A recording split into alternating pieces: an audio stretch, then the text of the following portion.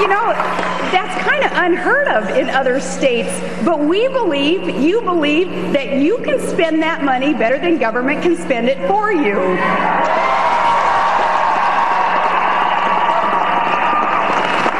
So here in Alaska, we're giving money back to the hardworking Alaskans. And in these tough times, John McCain and I are ready to do the same thing across our country by bringing tax relief to all Americans. A McCain-Palin administration, we're excited to to expand nuclear energy and expand our use of alternative fuels. And we will drill now to make this nation energy independent.